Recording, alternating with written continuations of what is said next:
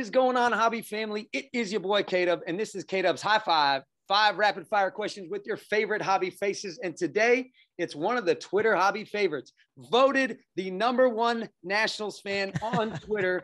Fans, he does not work for PSA and he hates the wave. Please welcome my dude JB at Old Town Cards on Twitter. How are you doing today, my friend? Good, man. Thanks for having me. Hey, man, I appreciate you joining me. Uh, how this works is I got five questions, all hobby related. I'm to throw them at you one right after another. You ready to take on the high five? I am. Let's do it. All right, man. Your Twitter Twitter handle is at Old Town Cards. How did you land on that for your username on Twitter? Yeah, so when I started my hobby account, I lived in Old Town Alexandria, which is a place okay. right outside of DC. Uh, it's like been around since like the 1700s. Like they've got little blocks and corners where George Washington literally used to like go grab a beer. Okay. Um, so it's just like one of my favorite places in the world. I've lived there two separate times. Unfortunately, I uh, I moved out and I bought a house, uh, much to my wife's uh, chagrin, if you will. uh, you know, she she loves the city, um, but we got two big dogs. Um, so lived there with her for a couple of years, and uh, now we live at I'm like eight minutes away. I was there on Saturday. Still love going there. So that is uh, where I came out up with it. It had nothing to do with the song Old Town Road, but okay. I created. So I created the handle, and then Old Town Road came out, and I think it like kind of helped with like people seeing my my name and like associating it with yeah. something, which was kind of funny. Um, but no, one has nothing to do with the other. All right, we might have to send a little bit of a of uh, gratuity to what's his name, Little Nas. Yeah, at some point. So. yeah, exactly.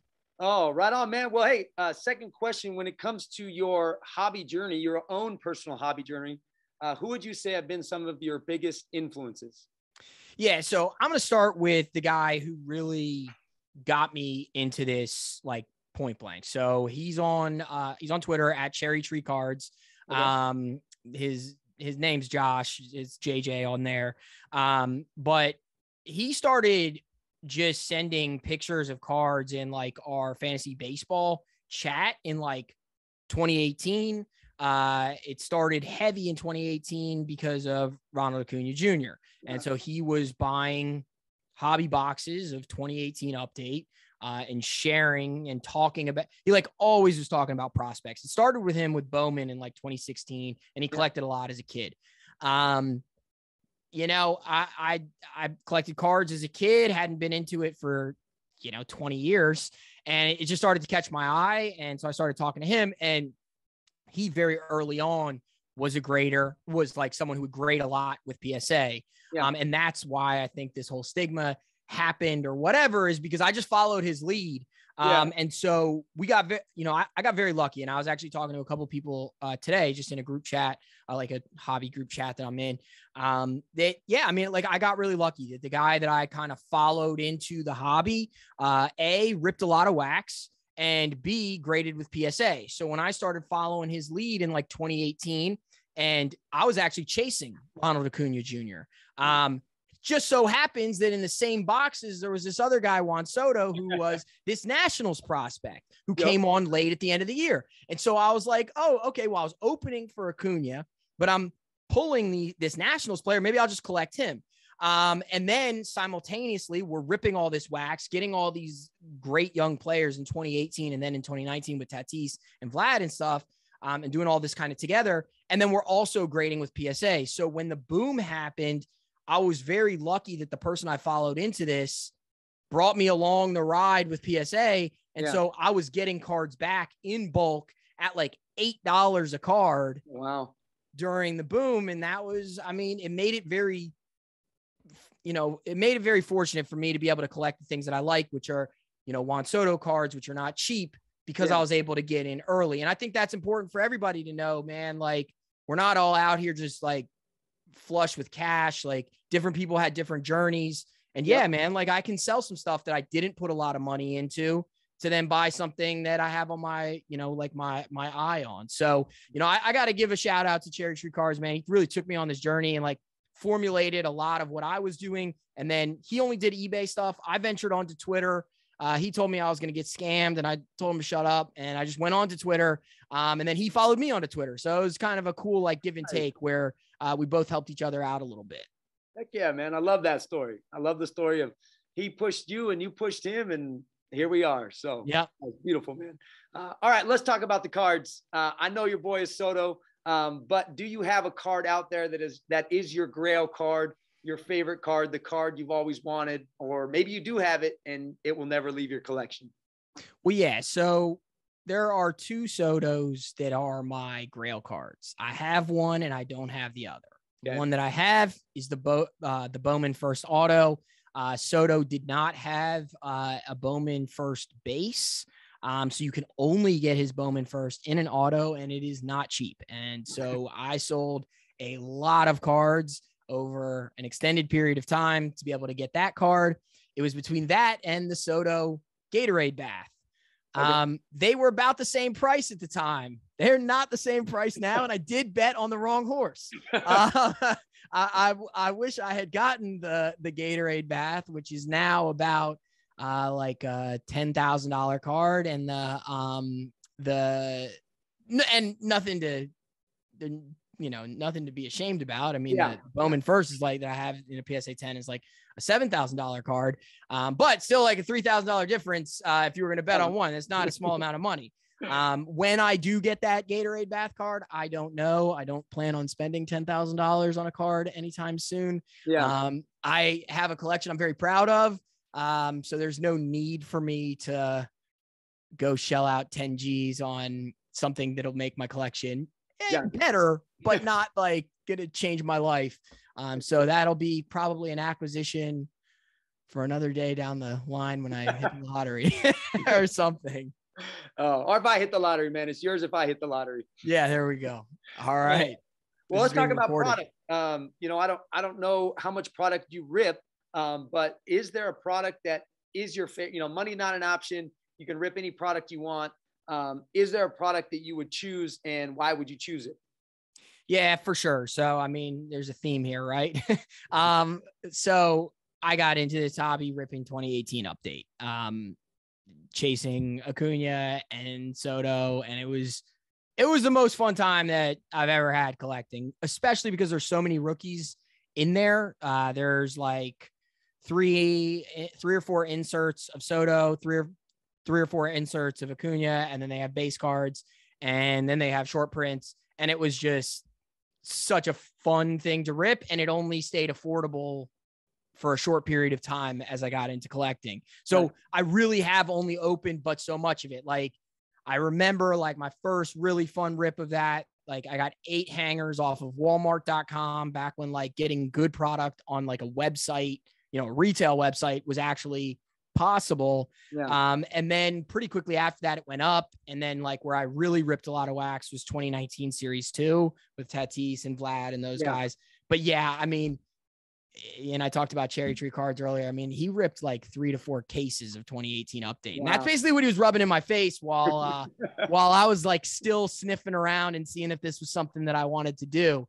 Um, so I think if I could if I could rip any product, it would be that. It's just they're it's so fun to chase those guys. They're so talented yeah. and young and they're in the same division and just yeah. the best product in my opinion. I love it. I love it. All right, man. Last question. I alluded to it the intro. You do not work for PSA. All right. Let's just put that out there, friends. It does not work for PSA. Um, but I think you are one of the go to guys when it comes to grading conversations. Um, how do you feel like grading has kind of impacted the hobby these last couple years during this boom that we've been having? Yeah, I mean, I think it I think it impacted it a lot. I know that grading is highly subjective. I don't necessarily agree with everything when it comes to grading. Um, but I also know like it's one of those things where you can fight against it all you want, but reality is reality. For me, mm-hmm. the things that stay in my collection, I try to have graded. Um, you know, I think that it protects them long term. As you see, I like the, de- you know, kind of like stand, put them on stands. You can have things in one touches, um, and it's all personal preference. That's the preference for me because in five, ten years, whatever, you know, they're kept in a sonically sealed case, uh, as they say. So, Um, I mean, I think it's I think it's impacted it tremendously. I thought I think also the money um, that grading has really brought to uh, cards has also created a lot of vitriol, as I'm sure you've seen.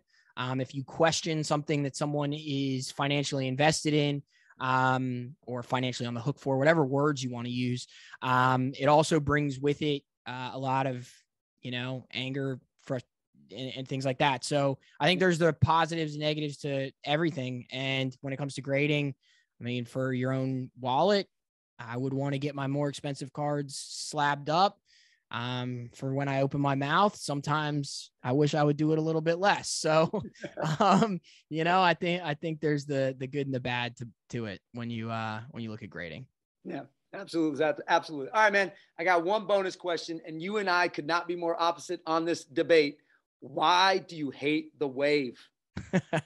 well, I hate the wave because in baseball, every time I mean, I I swear it's like 80% of the time a team starts doing the wave.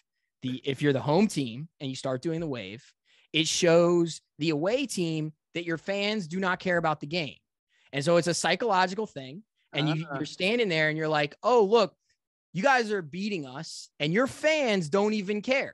They're busy playing around in the stands. Yeah. And you see it, it inspires these guys on the field and comebacks happen all the time. The amount of people who have tweeted at me and said, the wave just started. And then I follow up with it like 20 minutes later, and the score has flipped and the other team has taken the lead. I mean, I got to say, like at least a dozen times it's happened. Right. Um, it's just a thing in baseball. I know it started in football, but baseball is like a sport of tradition.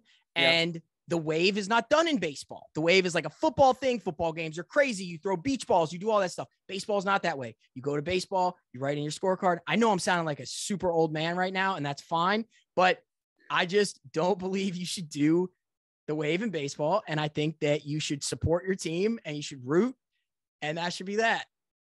But I know I'm, I know that probably 50% of people agree with me, and 50% of people think I hate fun, and that's fine.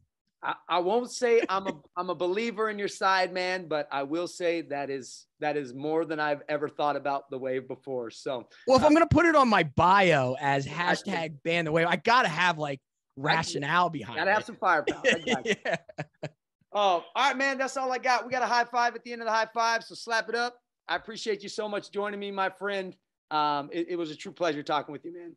Yeah, absolutely. And we have one thing um, before we go. Uh, I did give away uh, one of the coolest cards that was in that I think was in my collection. It's okay. It's not a very expensive card, so I can always get it back. Um, and it ended up going for $35.